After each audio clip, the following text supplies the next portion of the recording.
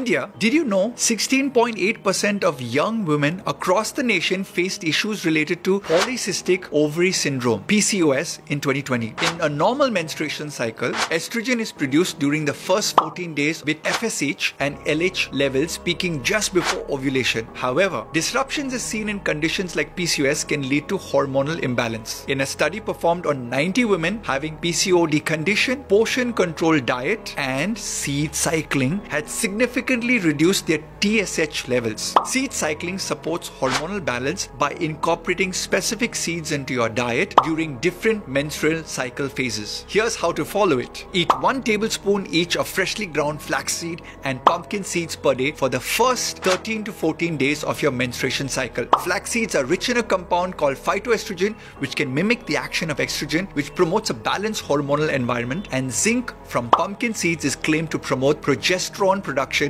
in preparation for the next phase of the cycle. Eat 1 tablespoon each of ground sunflower and sesame seeds per day until the first day of your next period when your cycle starts again. 100 grams of sesame seeds have 834 milligrams of lignans. Lignans are a type of polyphenol that inhibits estrogen levels from increasing too much. Vitamin E rich sunflower seeds can boost your progesterone levels supporting the luteal phase or the last 15 days of your menstrual cycle. So go ahead and try seed cycle